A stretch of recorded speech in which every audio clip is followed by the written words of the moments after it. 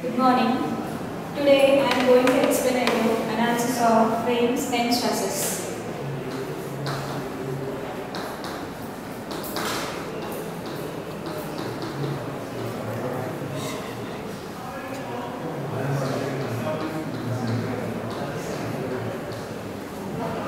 Firstly, explain about frames. What is meant by frame? A frame is nothing but a combination of beams and columns is nothing but a frame. A beam is nothing but a horizontal member and a column is nothing but a vertical member. So let us explain about the frame with an example of a diagram. So I already told that a combination of a beams and a columns is nothing but a frame. So I draw the frame by using an example. A frame A, B, C, D and in this figure the horizontal member BC and the vertical members are nothing but A, B and CD. So I already told that a combination of the horizontal members and vertical members is nothing but a frame. So this is called as frame. Next, I am going to explain about a truss.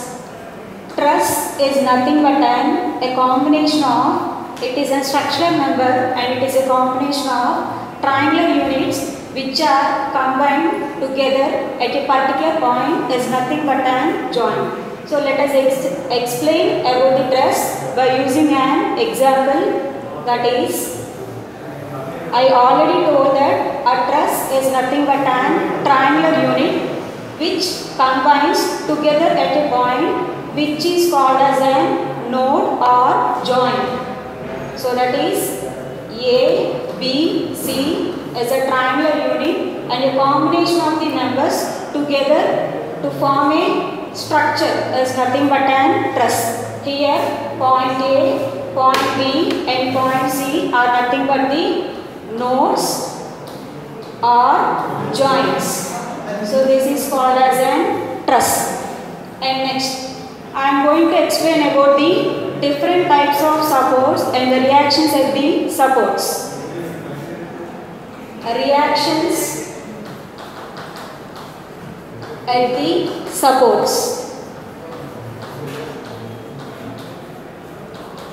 Basically, there are three types of supports. Those are nothing but fixed support and second one is roller. And third one is pinned or hinged. Pinned or hinged support. So these are explained by using the examples. So that is first one fixed support. And the fixed support there are three unknowns and the fixed support it is restrained in the horizontal direction and in the vertical direction and in the moment. So in the fixed support it is restrained about the three supports that is horizontal, vertical and in the moment. And next second one roller support. So in the roller support it is restrained about in the vertical direction and it doesn't have in the horizontal and moments. And coming to third, pinned or hinged.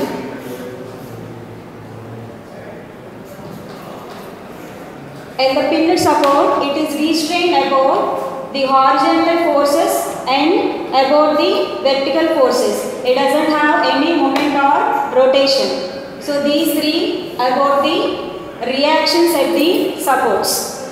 And next, different types of structures. Basically there are two types of structures. Those are nothing but the first one is statically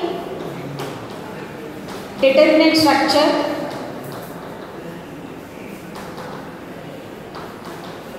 and second one is statically indeterminate structure.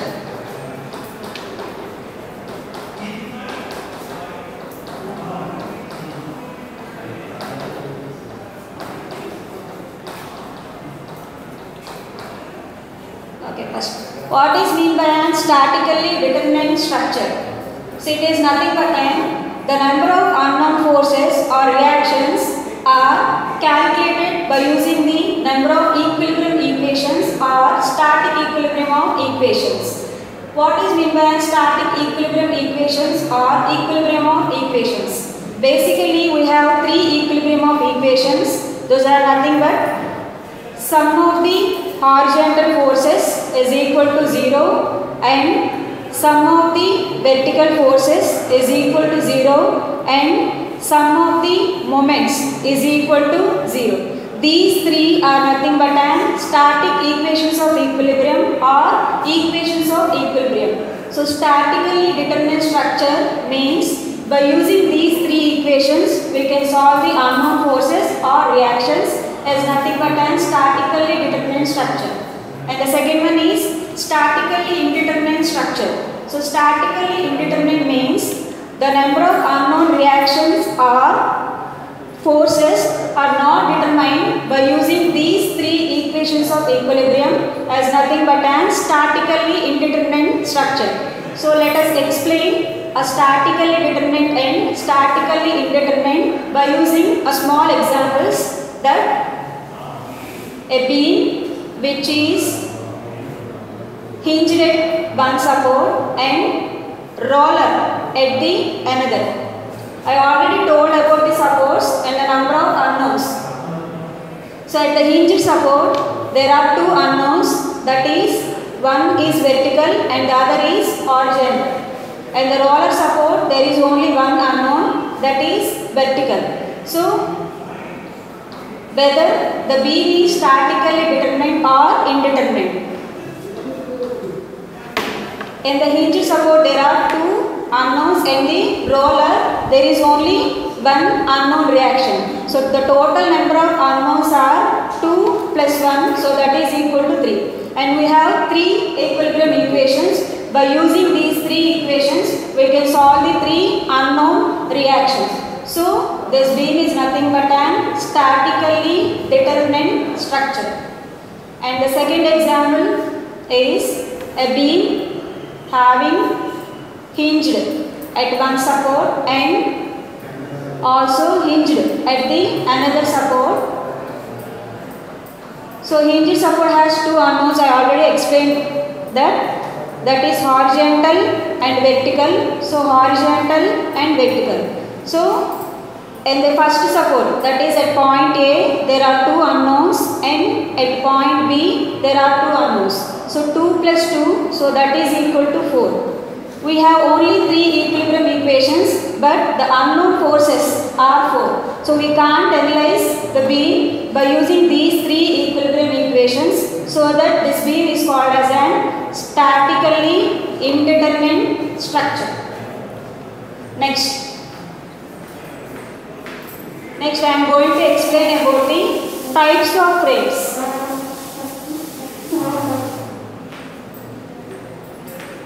Types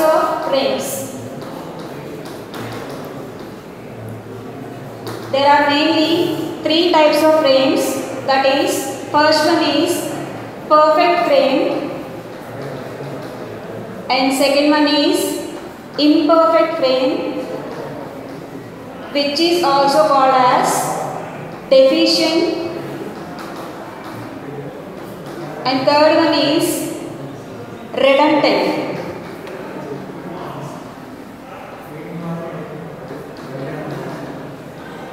These three are classified basing on the equation m is equal to 2j minus 3. So depending upon this equation, the frame is classified as perfect, imperfect or redundant. So let us give example about that equation.